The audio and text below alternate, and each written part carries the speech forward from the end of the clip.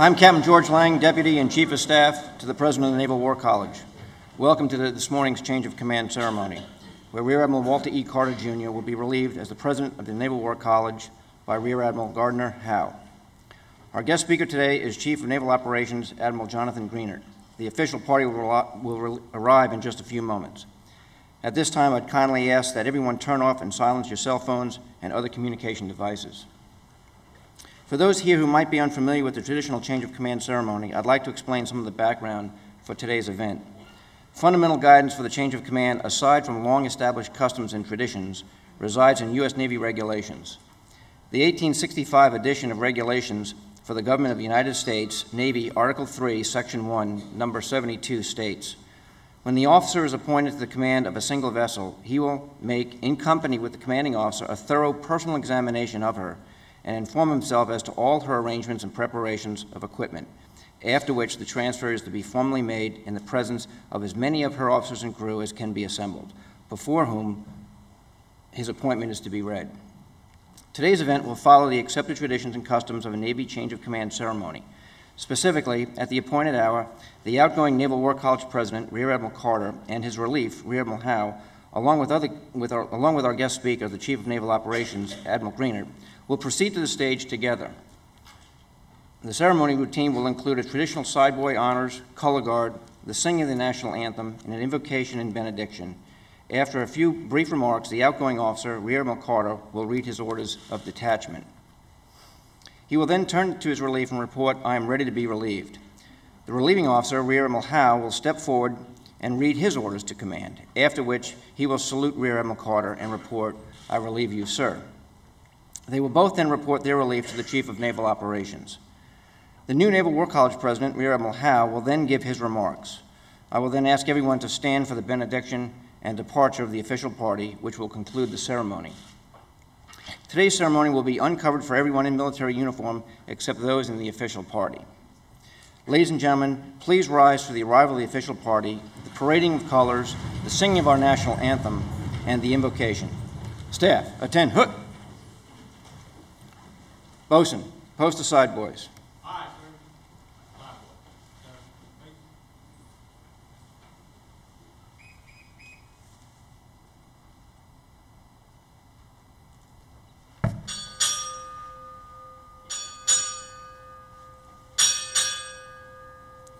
Rear Admiral, United States Navy, arriving.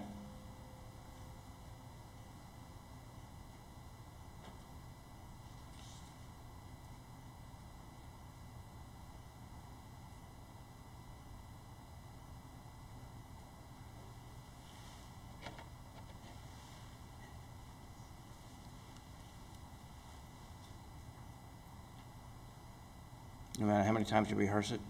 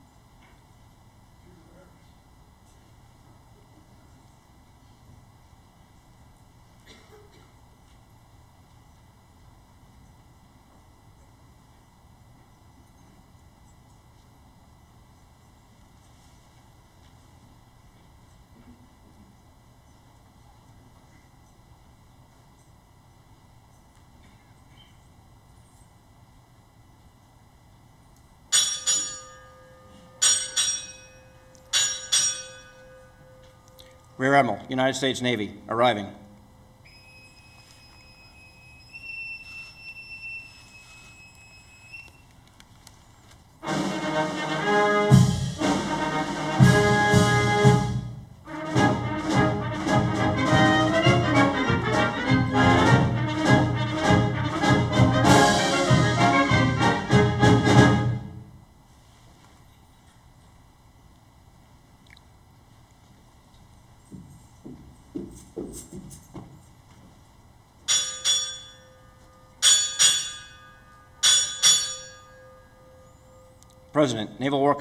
Arriving.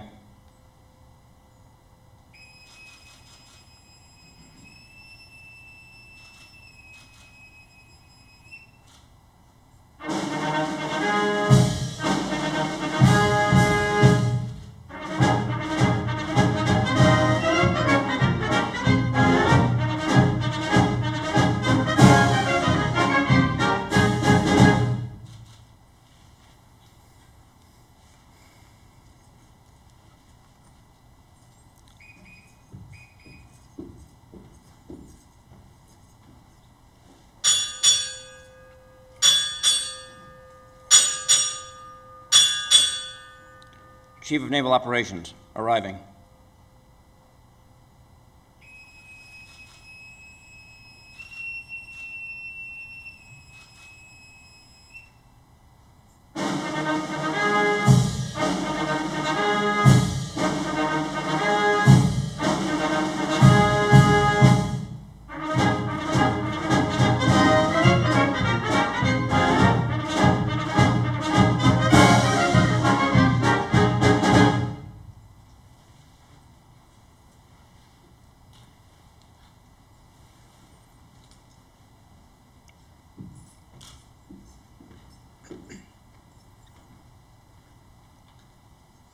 Retire the side boys.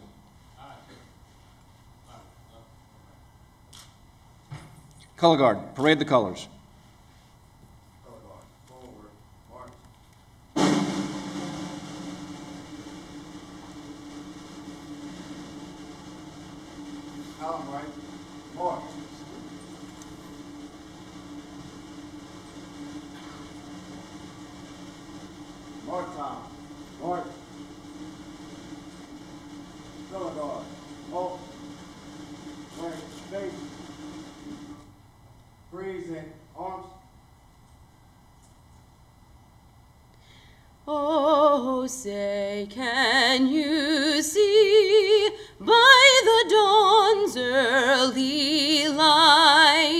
What so proudly we hailed at the twilight's last gleaming, whose broad stripes and bright stars through the perilous fight o'er the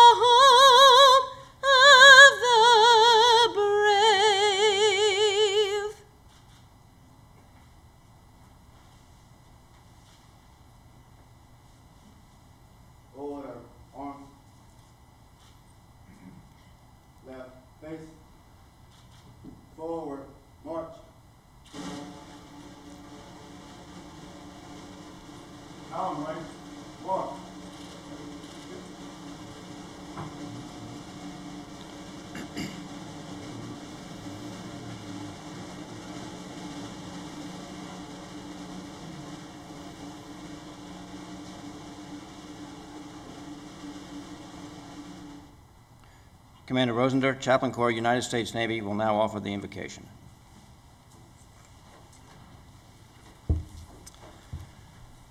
Let us pray. From Psalm 90 Lord, you have been our dwelling place throughout all generations. Before the mountains were born, or you brought forth the earth and the world, from everlasting to everlasting, you are God. Sovereign Lord in heaven, we ask for your presence and blessing this day as command of United States Naval War College is passed from Admiral Carter to Admiral Howe. Thank you for Admiral Carter's faithful service at the Naval War College over this past year. his love for the Navy, this institution and its people, our nation, and our international friends. Thank you for all who have supported him with hard work and professionalism, making the War College a place where the mind is challenged by academic rigor and the heart is enriched by new friendships. And as Admiral Howe takes the helm, we ask you to bless him with wisdom, vision, and passion to provide great leadership to this institution. May he and his family feel a warm welcome to Newport. Now we ask for your blessing upon Admiral Carter and Linda. May they take many fond memories with them as they look ahead to new challenges and adventures through the one who saves. Amen.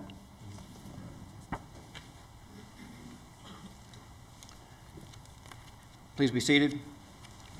Ladies and gentlemen, 54th President of the United States Naval War College, Rear Admiral Walter E. Carter, Jr.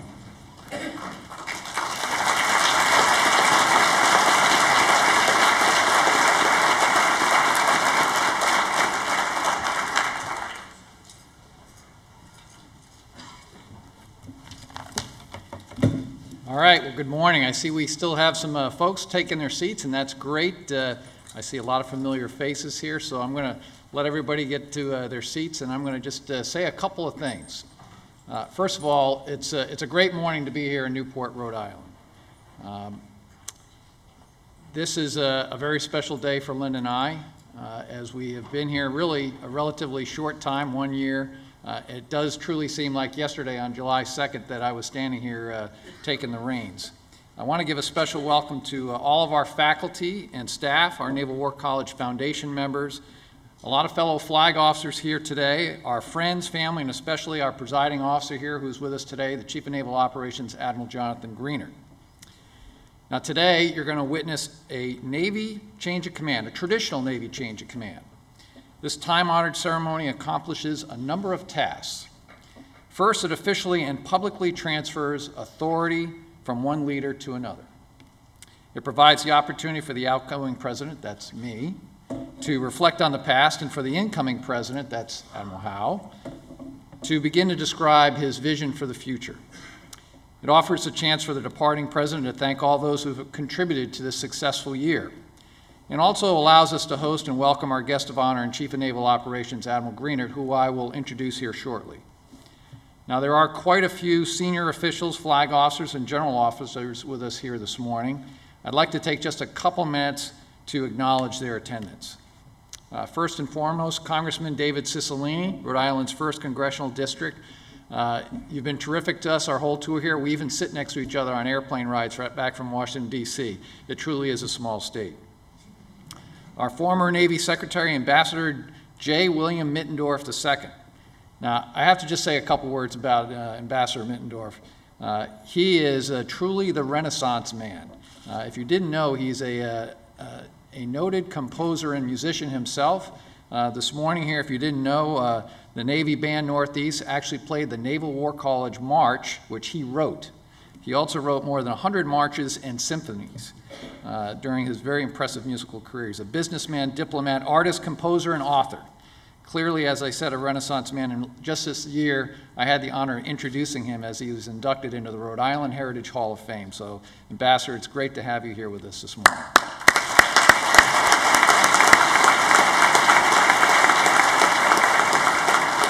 Mr. Anthony Paolino, representing Senator Whitehouse, Mayor Harry Winthrop, Mayor of Newport, Admiral Guillermo Barrera, the former chief of the Colombian Navy and our international distinguished fellow here at the War College, Vice Admiral Thomas Weschler, United States Navy retired, a Rhode Island luminary and icon, and I know I can say that with all truth.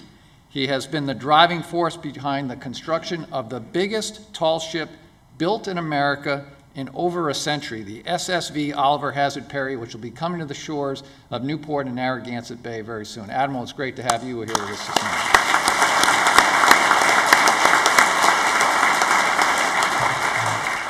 Vice Admiral James Phil Wisecup, United States Navy retired, the 52nd President of the Naval War College, and now the Director of the Chief of Naval Operations Strategic Studies Group. Major General Steve Sider, chairman of the Board of Trustees of the Naval War College Foundation. And there are quite a few key members here from the foundation. I'd just like to mention a couple of them. David Gordon, Ford, former uh, mayor of Newport, John Odegaard, Happy Van Beuren, uh, Philip Bilden, uh, and I also see uh, Richard out there with us. Great to have you. All, all the foundation members, uh, thank you all for being with us. Uh, Major General Kevin McBride, uh, United States Army, Adjutant General, Rhode Island National Guard. He's been kind of my counterpart to this Navy uh, flag officer community and the, the, Army National Guard here, and we've shared a lot of dioceses together over the years. So, Kevin, it's great to have you here with us today. Rear Admiral Sandy Stosz, the Superintendent of the United States Coast Guard Academy. And for those of you who are not aware, she is the first woman to ever command a service academy. Sandy, my capstone classmate, great, great to have you here in the audience with us today. Rear Admiral Glenn Whistler, United States Navy retired. Rear Admiral Dave Gove, United States Navy retired. Rear Admiral Dennis McCoy, United States Navy retired. Rear Admiral Timothy Gallaudet, United States Navy Commander, Navy Meteorological and Oceanography Command. Brigadier General Charlie Petrarca, he's the land component commander here for the Rhode Island National Guard. And quite a few uh, Navy captains here in the audience with us today, all who command different outfits here on the base, uh, and unfortunately, most all of them don't work for me. Uh, Captain uh, Jim Cunha, who runs the Naval Academy Prep School, Mark Johnson, who runs the uh, Naval Leadership and Ethics Center, Kevin McGowan, Doug Mkhitaryan, the base commanding officer here, Mark Murphy, Maureen Pennington, and David Welsh. Welcome to all of the captains. And I think I see Captain Doherty here, the new uh, future commanding officer of the Naval Academy Prep School. And finally, uh, but not least, our Command Master Chief Jason Wallace, who leads as the director of the Senior Enlisted Academy. And of course, no introduction would be complete if I didn't give a special welcome to uh, Aaron, Admiral Howe's wife, who just came in two days from Hawaii. And of course, uh, my wife, Linda, of 32 years, this July 31st. Uh, welcome to our friends, family, and each and every one of you.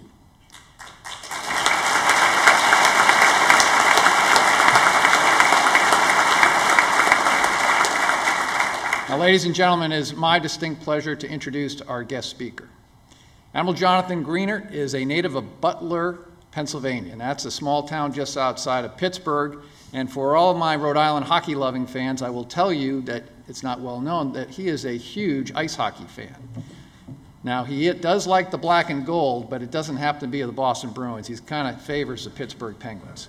Um, he went to the Naval Academy, graduated in 1975, and after that, he went through the Navy Nuclear Power School, where he has made a career serving as a, a nuclear power submarine officer. He has served uh, extensively on a number of submarines with great names like Flying Fish, Tautog, Submarine NR 1. He was executive officer of USS Michigan Gold Crew, and he commanded the USS Honolulu SSN 718 from 1991 to 1993. In 1992, he was awarded the Vice Admiral James Bond Stockdale Leadership Award, a peer based nomination award, arguably the highest award in leadership in the United States Navy. He's gone on to command many levels since then. He was the Deputy Commander at U.S. Pacific Fleet. He went on to command the U.S. 7th Fleet, based in uh, Yokosuka, Japan, on board his flagship, the USS Blue Ridge. And then he came back to the United States, where he was in charge of the entire eastern coast Atlantic Fleet as Commander Fleet Forces Command. His previous job before, before the one he has now was the 36th Vice Chief of Naval Operations. And on September 23, 2011, he took the reins as our 30th Chief of Naval Operations. Ladies and gentlemen, please give a warm welcome to our CNO, Admiral Jonathan Greenert.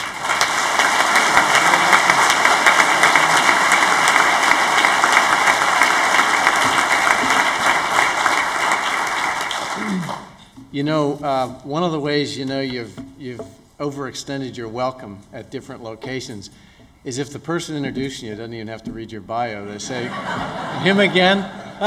well, here he is, and, and uh, you just read it right off. So uh, that's one thing. The other thing I'd want to remind you, or just give you the hint, and we'll be putting our hats off and on today. You'll see this because it's off now. And we're testing out how long it takes to get a ring on your forehead because I swear to you in uniform, Marine Corps and Navy, we're working on a new hat, and you say, oh man, trust me, this is going to be a winner. No ring, all right? and you can test it. So take that one to the bank, as they, so, as they say. So, uh, Ted, yeah, you're right. It's, my golly, it's been just precisely a year. And uh, I'm sorry, Linda, about another short notice move. Uh, you're going to the big house, and I really do mean this. It is a big house. Uh, it's the biggest house. and you're going to rue the day that uh, you probably moved into that house one day because it's so big and hard to, to take care of. But if uh, I could ask one more time, it's, I'm always astounded when we have the Rhode Island chapter of the Ted Carter Slapshot Carter fan club. But all you people from Rhode Island that came here to see Carter, raise your hand. Look at that. Isn't that unbelievable? Wow. So uh, Christopher and Brittany aren't here because they're making a living somewhere, and that, that's good, paying back maybe. Uh, Uncle Don Elizabeth, the Carter element, Uncle Ken and Madeline, the Putnam element, and Sylvia Scanlon's here, and his brother Phil uh, is here with Debbie. And uh, if you say, "My God, that looks like Ted Carter with a mustache," you say, "Well, it, it, it pretty near is." Uh, as uh, those two are not that apple didn't fall too far from the tree, as they say. Uh, so I would like to give uh, kudos to uh, Carl Gerhardt. Carol, Carl was with me at Seventh Fleet. He is the band director here. So if you enjoyed the music, he is the maestro. Carl, thanks so much.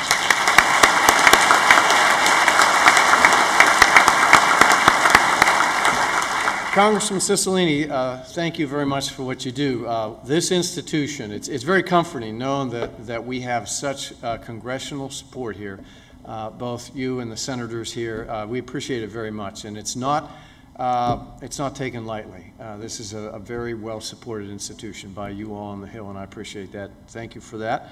And uh, I would be remiss if I didn't say to, to Mayor Winthrop, that is the coolest mustache since Rollie Fingers uh, that you have going. And thank you for what you do here, supporting the town, supporting because these students come in, they come, uh, haven't been here. We come, we go, we go out, and our kids play soccer, baseball, and all that, and the community embraces them and takes good care of them. And it really does feel like a community with uh, with the citizens here of Newport. Thank you very much for that. Ambassador Mittendorf, uh, I, I too uh, pass my admiration. Uh, I read your bio, what you do. I got to take a nap afterward. I'm exhausted just thinking about what you do, and uh, I'm stunned. Ambassador Peters, thank you for what you have done, and we will miss you very much here as you've taken care of the students here uh, as well as the curricula. And uh, I always, always have to uh, pay my respects and give my admiration to Anna Maria and Hilario Barrera, uh, to a hero and heroine uh, of mine and people that I admire. Thank you so much for contributing up here and continuing to serve as you're doing up here. Fellow flags, uh, Ted covered all of you. I'm not going through that again. Uh, I want to, I want to, my message is simple. Um, for me, uh, this institution is the capital of our intellect. It is our intellectual capital, and that's a proper noun. And uh, what we're going to do, what Admiral Howe will continue to do, is to continue to, if you will, make it so, because we develop, common noun, our intellectual capital up here. We send our kids to NROTC, our officers I'm talking about, in the Naval Academy, and that's kind of the boot camp, if you will, as I was talking up here about a month ago. Uh, that's the boot camp for understanding what we do in the Navy. And it's an important element, and that's why the Carters are going down there to see that we get that institution right. Some go to the postgraduate school. That's kind of like C school. You go into a specialty, cyber, ASW, uh, acoustics, financial management. Okay, that's good. All very, very important. And you kind of become little Jedi's in your own field there over at the postgraduate school. But this is where it all comes together. This is where we form and shape our leaders to make them be what they have to be in these very, very challenging times ahead. And it's so important to me that our officers come up here at that mid-grade level and that junior senior officer, if you will, level, and leave here confident that they can go out, they understand the big picture, because they're going to go out and make very strategic decisions. In the East China Sea, in the South China Sea, and the Strait of Hormuz, in the Black Sea now. I mean, it just keeps going on. In the Caribbean, and it's going to be a strategic decision, and they got to understand the big picture. I need leaders that are confident so they can go out and be bold and accountable to all of you citizens for the things that we need to do in your Navy in the future. So I'm very happy to be here, and I'm very happy to continue to support this. And I swear to you, I come up here in February and March. I just don't hang up here, hang out in the summer when it's nice. Check it out. I'm up here. Phil Wisecup. All right, thank you. He'll, he'll commit for me. All right. Look, we need a, a, a, committed leader at the helm up here to carry this out and, and get it done. And I'd like to spend a few minutes talking about a very, very special person. For a year, this person has been very passionate in the dedication to the institution. a very extraordinary leader, engaged everywhere at the War College, and will be truly, truly sorely missed. This is someone who we, we really strive to follow and are very proud to know. And you all know who I'm talking about. I'm talking about Linda Carter.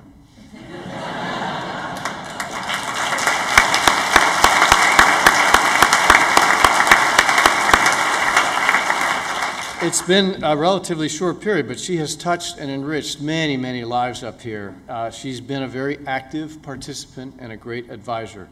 The Military Spouses of Newport organization uh, is kind of like her thing. One of the things that she brought from uh, the efforts to include everybody, all the services, officer and enlisted. And it used to be the Naval Officers Spouse Club, but now it is the Military Spouses of Newport organization. It's inclusive like it needs to be. Because people come up here they get anxious. They're away from their norm if you will. It's a relatively short period. The you know the service members up here studying uh, it is a lot of studying right? And you're supposed to do the reading and i assume you do.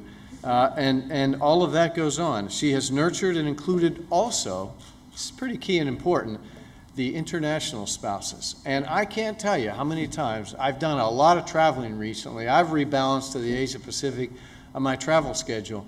And I go in and sit down with the head of Navy or one of the senior officers, and they got that little, proudly wear that little badge from this institution, and they very proudly wear it. And boy, they see it around each other if you go to a naval symposium or any symposium, and they connect. It's like a little magnet or a little beeper that, that brings them together. So uh, what Linda has done is reduced that cultural shock and brought them in. She's created a shock with this Red Sox thing and this Bruins thing and this Patriots thing, but okay, you can't, you can't get everything because they, they talk about these things over, overseas.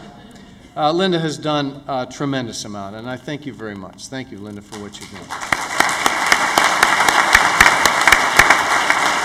Now, she does all that, and she raised a rear admiral uh, at the same time. Uh, you know, he's a career naval flight officer. That's the person in the back seat that directs the mission, uh, you know, kind of does the sensors and the weapons and says, okay, here's where we're going next. Uh, and he's been doing this for a while. He's a decorated guy, but he's always needed a pilot, and he's got a great pilot for 32 years. So we know we got that one right. So anyway, uh, Linda does have a spouse, and let me say a few words about Linda's spouse. Uh, Ted Carter was the right leader at the right place at the right time. I'm very, very happy uh, with this detail, with this job uh, that he has done here. Uh, he has refined the curriculum and moved it in a direction, as he says, and you got to read his blog. He, he went on, a, uh, did, he put an entry in the Navy blog today. It's very well written, and I think it kind of summarizes better than I will speak to what he has done here. But he has refocused the school toward the fleet, brought that together, you know, that connection of intellectual capital, as I mentioned, and fleet operations. And I think there are, there are three key elements that he has gotten going, and, and I know Gardner will take it from here. One, the Navy Leadership Development uh, Continuum. And you say, well, what is that? That's, that sounds like, uh, what does that all mean? That means developing a curriculum that all of our people, E1 to E9, O1 to O10, as they go through their career, they will have a foundation of character and leadership development and understanding what is expected of them at the level when they go through the career that we expect of them in that level during their career. That there's a foundation across that, and we are well begun and not quite half done on that one, but he has gotten that rolling on. He's established the Navy Leadership and Ethics Center. Uh, it was a product of a vision that, that he brought to me and said, uh, I'm going to stand this up up here. I need a little bit of money, and it wasn't much money, and we have it started up, and it's the right thing to do. The Secretary of Defense's uh, assistant for professional development, uh, Admiral Peg Klein, came up here and looked at it and she said, that's what the secretary kind of had in mind. I mean, when he said, where can we bring an institution? It's very much like the other services, and what Ted has done has brought that synergy of drawing on the other services, not saying we got it right up here or go into our little hovel up here or even in the Navy, but he's also shared that uh, and it is up and running. It's, it's about providing a place uh, of good barrels that we put the apples in so that we have good apples in those barrels. If you got a bad barrel, you put the apples in. You get the picture what I'm talking about. Lastly, uh, that I will mention, he's examined the future of war at sea. You say, well, what does that mean? Well, if you go around the Pentagon for sure today and you say, hmm, Navy war at sea, naval war at sea, what are you going to see a picture of? You're probably going to see a picture of an aircraft carrier, probably a nice formation of, uh, maybe if it's a joint operation, you'll see a B-2 or a B-1. You'll see F-15s from the Air Force. You probably see uh, F-22s maybe, but you get my point. You see that kind of, well, that's war at sea, and you say, hmm, we're moving along here. This world of ours is rapidly accelerating and changing here. Uh, we've got a lot of stuff ashore in the littorals and developing, and we're, we got unmanned, we got cyber, uh, we got unmanned underwater, unmanned aerial, and uh, as we move into the future, what will it look like? Ted's given us a lot of thought. Uh, we want our folks to come up here and think about war in 2020, war at sea at 2025, 2030 and then go back to the fleet and bring the fleet toward that area. What I don't need is people coming up here and learning only history, what the as is, and then they go to the fleet and the fleet's bringing them along. We've got to bring this along together. We have to think what is it going to be like ahead and start developing those concepts in this intellectual capital of what we're going to do. And that's what Admiral Carter has gotten us lined up for. And I appreciate it very much. This week, we're going to have a mock-up of the railgun mm. in San Diego on the Choctaw County. I don't know if I, I, brought a while back, I had the pictures and all that, and uh, it was only a cartoon. Well, it's the real deal. People will touch it. It is the railgun that we will take to sea in 2016 and test. Pretty much as we speak, I can't say for certain what they're doing out there, but the uh, laser warfare system, the the, the laser gun, if you will, that we're going to put on the former USS Ponce, it's the U.S. naval ship Ponce, our experimental, if you will, a float forward staging base, is being installed in the Arabian Gulf, and she will deploy with that for some time out there. So we're moving out ahead. I could give you more, I'll leave that for another time. We are moving ahead. He's seen this vision, and he wants to, to bring the kids along. So, Ted, thanks so much for setting the stage for future analysis, for future planning, for future development. Um, we'll deep dive into the future of war at sea. Gardner will take it from here, and, uh, and we got it from there. For you, I want to thank you for, your, for what you've done up here. And uh, we never, ever, in fact, we spend, I swear to you, as much time figuring out who should the next superintendent of the Naval Academy be, almost as much as we see who is my relief. Probably more uh, trust me. And it is a uh, incredibly important uh, development or, or, position for a couple of reasons. One, obviously, it's our seed corn, all right? And, and we need to develop them both academically and professionally. But that's, our, uh, that's our, one of our institutions of the future. Just like this is, it's one of our crown jewels. And that, individual, that superintendent's got to take care of all the grounds, take care of the foundation, take care of the alumni. Good heavens, you're getting a headache already, aren't you? Get this man an Excedrin. He's, uh, but he's, this is the couple to do it. Uh, and I'm very, very glad that, that you all have chosen this, um, this challenge. For Aaron and Gardner, thank you very much for what you've done. Uh, but it's, it's what you've done has told us that you're really ready to take it from here and bring this institution forward. So I'm glad to have you here.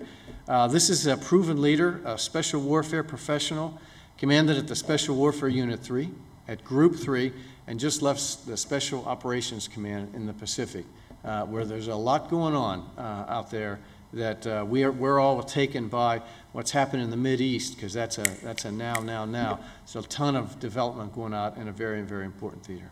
Welcome aboard. If you see a black lab running around here, that's Cato, very, very friendly. Um, I don't know, probably likes chew sticks, right? That's what I, yeah, all right. So again, Ted, thank you so much for taking care of the institution and for loving your Navy so much. Linda, thank you for loving him, because when you love him, he loves the Navy, and then you both love the Navy. It's all good. Thank you very much.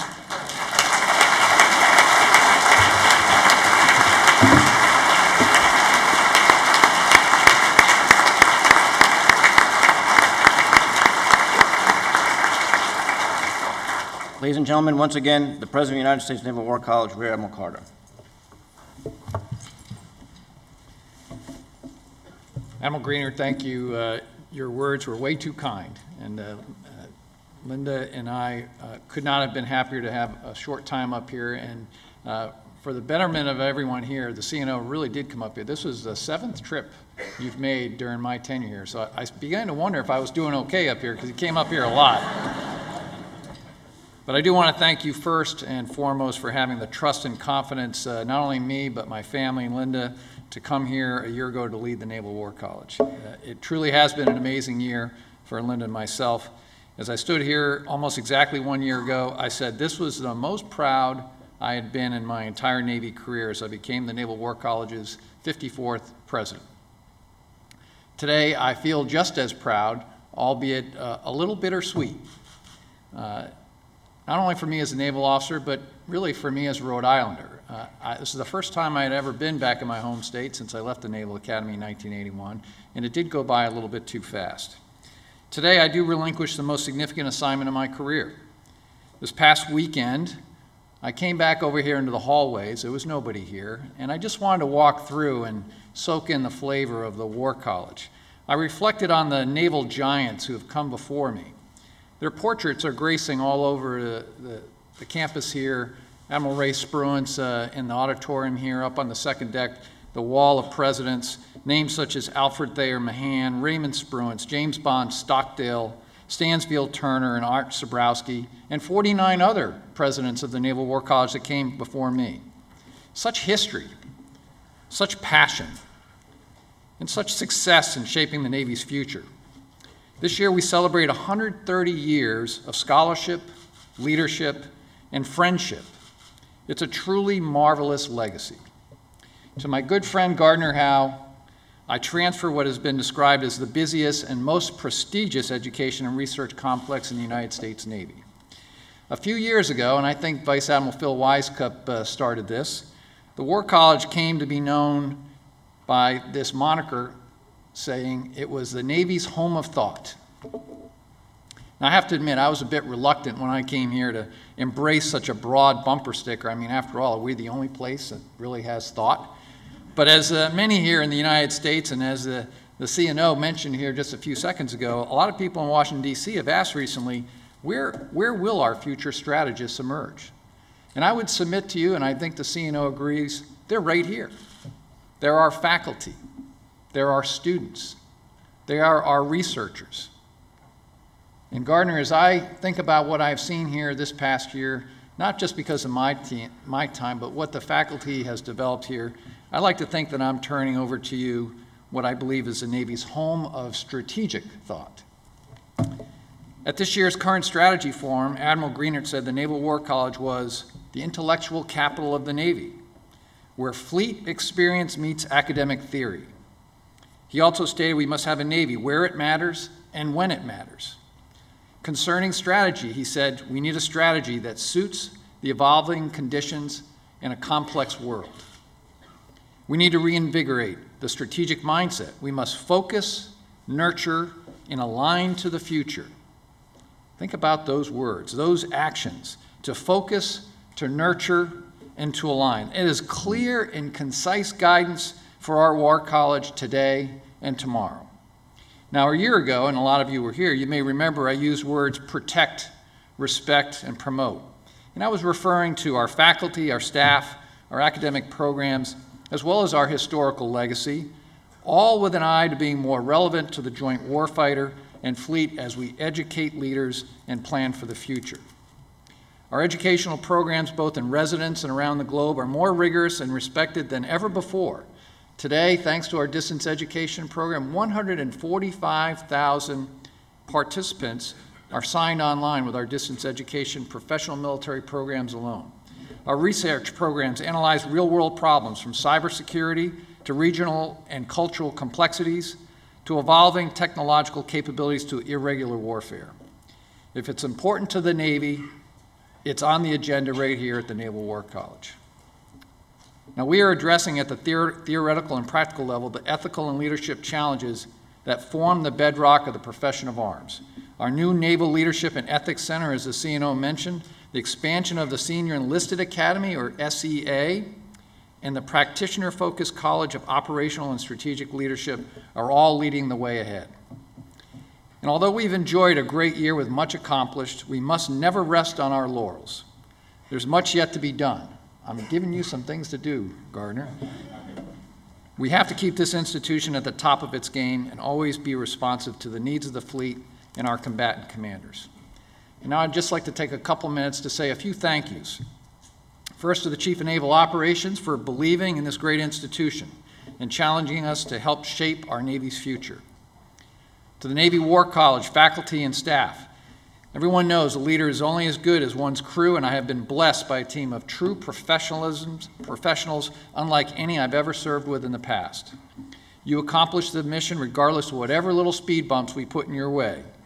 You care about your students, your colleagues, and most importantly, this institution. And in a greater sense, you care about your Navy, your nation, and the ideals for which this country was founded. I want to thank our Provost, Ambassador Mary Ann Peters, our Associate Provost, Bill Spain, our Deans, John Garofano, Dean Tom Mangold, Dean Jamie, Jamie Kelly, Dean Professor Emeritus, so I don't think he's with us here today, Barney Rubel, who'll be leaving us later in the year, Captain Griffin, and our Director of Distance Education, Dr. Jay Hickey. For my personal staff, George Lang, my Chief of Staff, who's officiating today with us today, my Flag Secretary, Lieutenant Commander Jay Brewer, the Blessed Flag Assistant in the United States Navy, Lieutenant Commander Leslie Sloopmaker, uh, our Senior Enlisted Advisor, Senior Chief Pearson, and our Senior Culinary Specialist, Senior Chief Valdez, and my flag writers, YN1 Michelle Suarez, YN1 Kat Kurtz, and 2 Laws, who does a lot of administrative support for us. I would be remiss if I didn't also mention the best protocol team I have ever seen in my 33 years in the United States Navy, Karen Sellers and Kelly Williamson. Thank you for all that you do. And finally, uh, my jack of all writing trades, Professor John Jackson, who only picks the best words for me to say on many, many occasions. I'd like to say thank you to all the, uh, the captains and commanders here in the base. This is a uh, complex uh, base here. Uh, the synergy that is amongst all these training and education outfits is phenomenal. And I'd like to say thank you to all the family and friends. Now, the CNO asked all the, the Carters and, and others to kind of raise their hand. Uh, I've been very fortunate that I've had such a, a loyal family.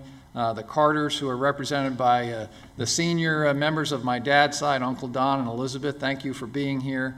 Uh, there's about 215 Carters that are still living in Burrillville that go down uh, many generations. There are six of my father's uh, brothers and sisters still with us. Uh, Uncle Don, thanks for uh, representing all of them.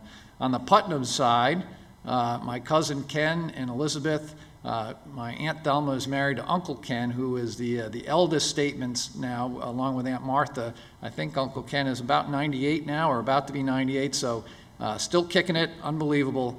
Uh, thank you for all being here. The many cousins here. My, uh, I, I, won't say my favorite cousin, but the one I seem to see the most, uh, Sandy. Thank you for uh, making such an effort to be here with us today.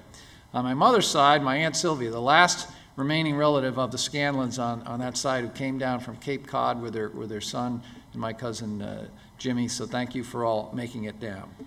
And of course, nothing would be complete if I didn't mention my Burrillville High School classmates. Uh, there's a, uh, a, contingent here from the class of 1977 and some 1976ers here. Uh, they have been coming to events for me uh, dating back prior to 1997. It doesn't matter where it is, it doesn't matter uh, what the temperatures are outside, the winter, the summer, they continue to come and support. I, I, would just ask that my Burrillville High School classmates, all went to Burrillville High School, if I could ask them just to stand for, for a minute so I could recognize you in front of everyone here.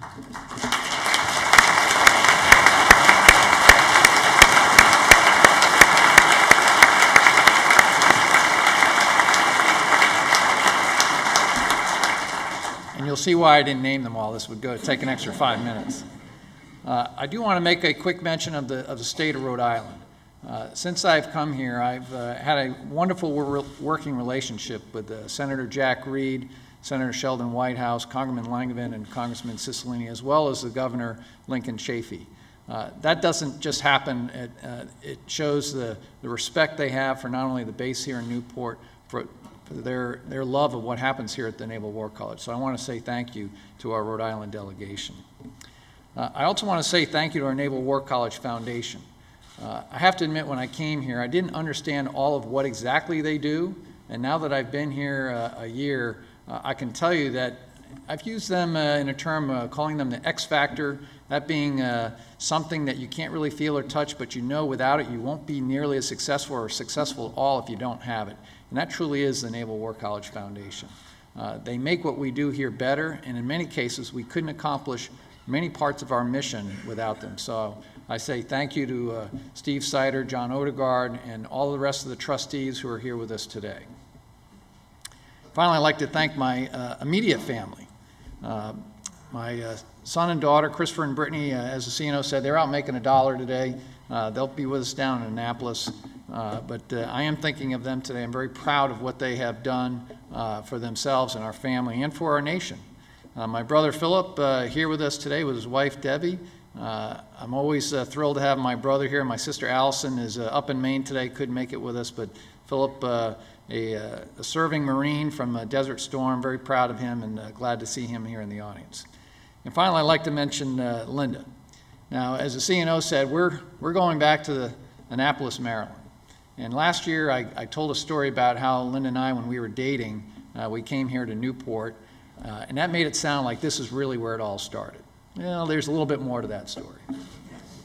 On January 21st, 1979, as a sophomore, or, or we call a youngster at the Naval Academy, uh, I was enjoying my second year on the Naval Academy ice hockey team, uh, enjoying what I would clearly call a sophomore slump. Uh, I don't think I had scored a goal in any game that entire year, and at a place that is now known as Disco Dahlgren, the old Dahlgren Hall that we used to play disco in the 1970s, I was introduced by a fellow hockey teammate, uh, Scotty Stewart, to a young lady named Linda Carter, or Linda Colehep, excuse me. And uh, as luck would have it, uh, we hit it off, and I said, Well, we're in Disco Dahlgren, we should go dance. Now, the smarter move would have been to listen to what was playing first. because forevermore, our first dance will be remembered as Le Freak. and that was the first thing we did together and on January 21st, 1979. And uh, we're, we're very fortunate to be able to go back to where it all started. Linda's from Catonsville, Maryland, just outside of Baltimore. So as I've enjoyed some time here in my home state, we're going back to Linda's home state and where we actually started our relationship. And oh, by the way, Linda went to every home hockey game for two and a half years, and never, not once, did I not score two goals in a game Linda attended. I was always trying to impress her. I'd like to close now. Uh, for the first time in the 130 year history of the Naval War College, this institution will be led by a member of the Naval Special Warfare community, better known as the SEALs. Their motto is, quote, ready to lead, ready to follow, never quit. The only easy day was yesterday, unquote. Gardner, I am sure you're ready to lead, and the last 12 months have shown me that every member of this remarkable command is ready to follow, and they will never quit. Now, I will admit that if you force them on a 10 mile run, they may not move as fast as you would like, but I can assure you that they will, you will never find a more loyal team committed to accomplishing the mission. So today, as we uh, finish this ceremony, I ask that we not forget our soldiers, sailors, airmen, Marines, Coast Guardsmen, National Guardsmen who are serving all over the front lines of the world. Let's also remember our Japanese friends and our servicemen who are serving in Japan as they are going through a pretty tough day with a 125 mile an hour typhoon that's bearing down on them. Uh, and uh, let's not forget all those who protect the very freedoms that we enjoy here today. May God bless each and every one of you, United States Naval War College, the great state of Rhode Island and Providence Plantations, and the United States of America. Thank you all very, very much.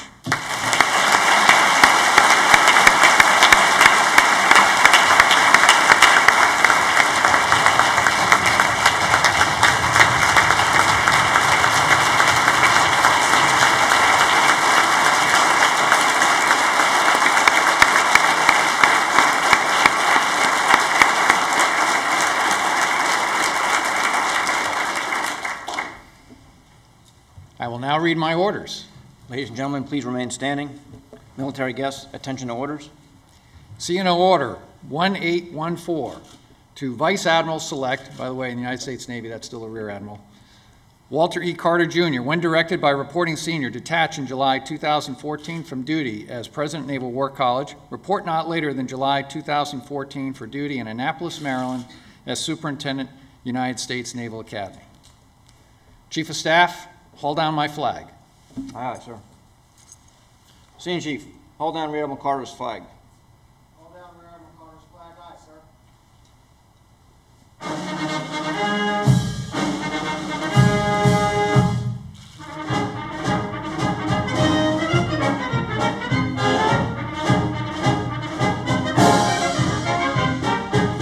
Chief of Staff, Rear Admiral Carter's flag has been hauled down, sir. Aye, aye, thank you. Admiral, your flag has been hauled down. Very well. Admiral Howe, I'm ready to be relieved.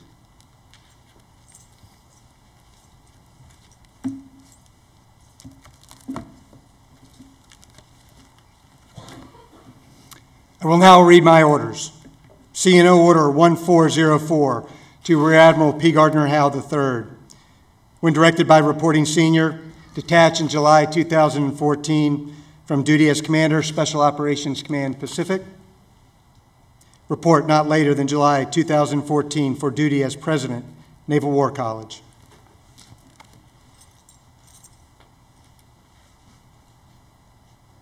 I believe you, sir. I stand relieved.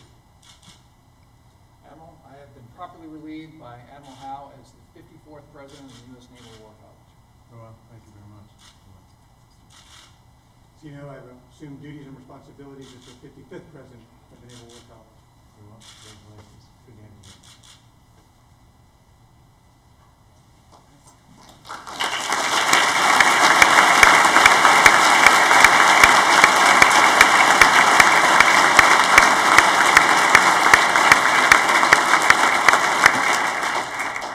Chief of Staff, break my flag. Aye, sir. Senior Chief, break Admiral Howe's flag. Break Admiral Howe's flag, aye, sir.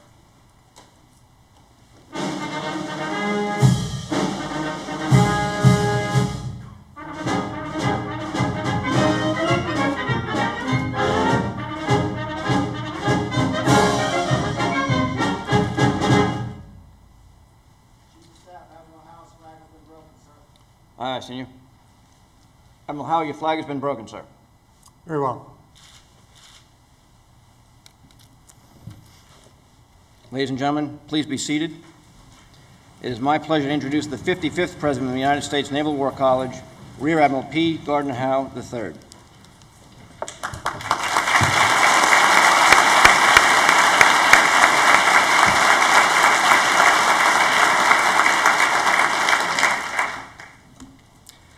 So you know, distinguished guests, faculty, staff, family, and friends, good morning and thank you all for joining us here today.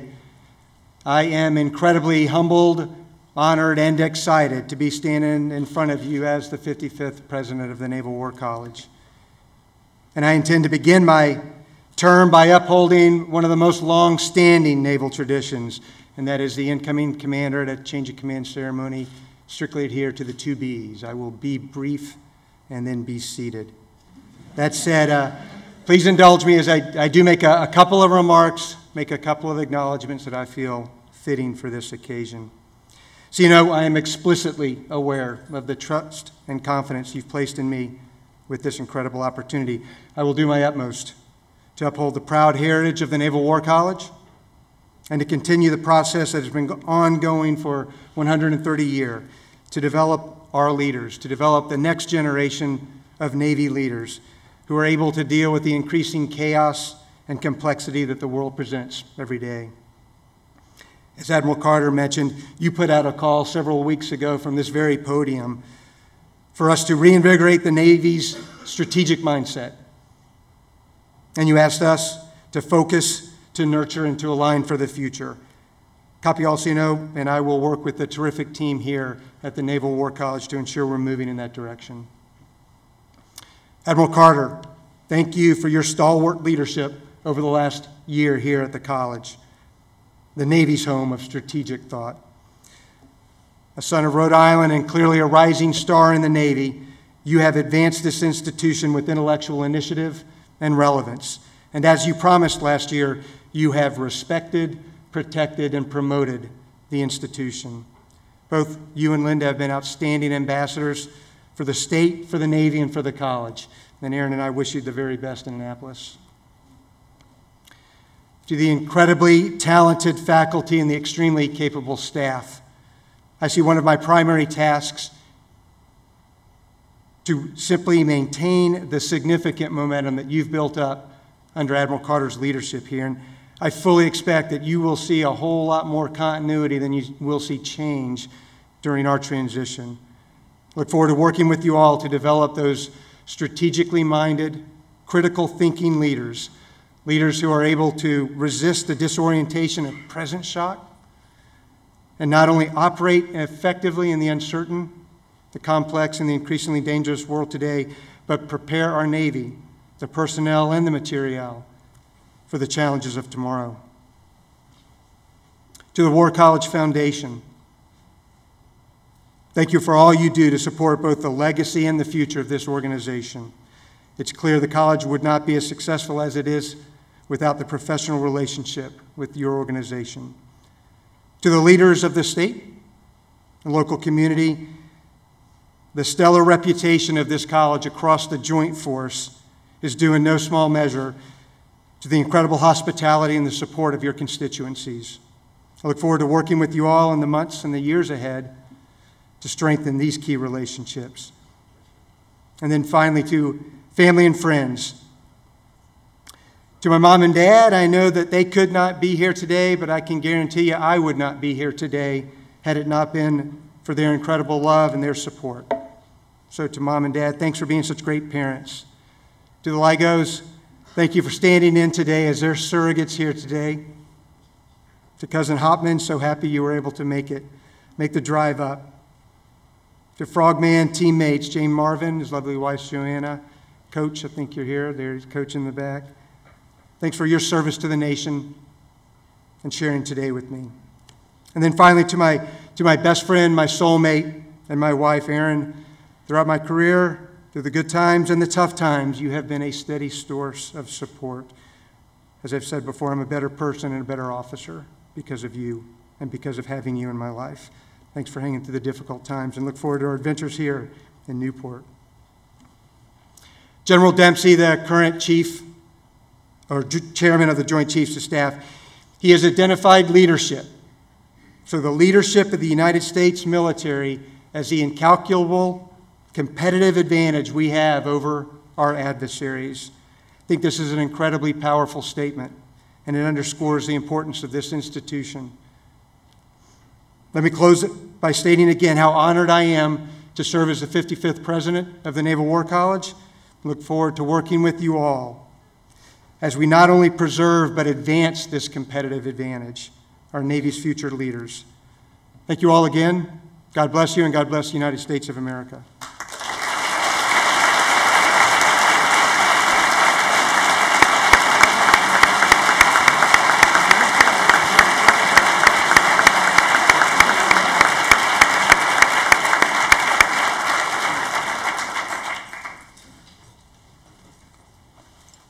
And gentlemen, please rise for the benediction.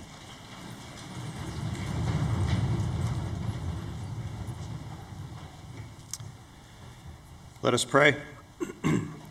Lord, thank you for your presence with us today. Please grant your blessings upon the Carters and the Howes for the new challenges and wonderful opportunities that await them. And bless the work of this place as it educates and develops leaders. And please be with all who stand watch around the world this day for the causes of peace and justice. Strengthen, encourage, and protect them and their loved ones. May we look to you each day, knowing that you have promised to be near to all who call upon your name. We seek your blessing. Amen.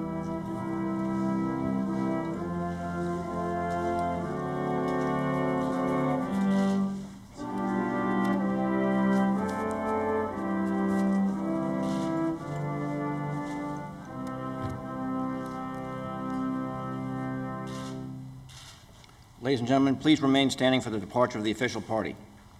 Bosun, post aside, boys.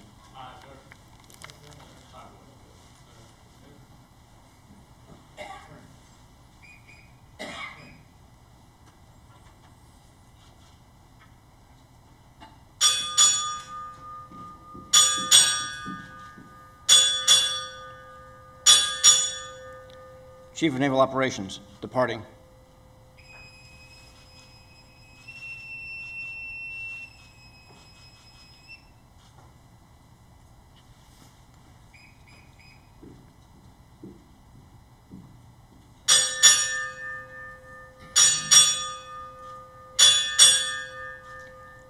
United States Navy, departing.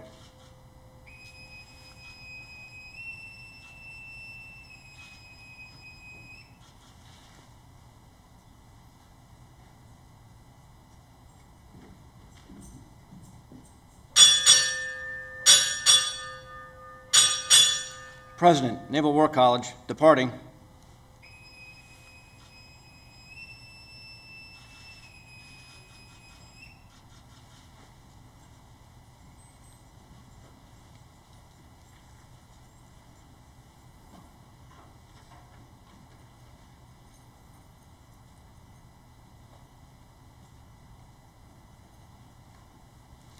Ladies and gentlemen, this concludes today's ceremony. Guests are cordially invited to attend a reception in Spruance Lobby, just uh, behind the auditorium here, and Colbert Plaza. Thank you for coming.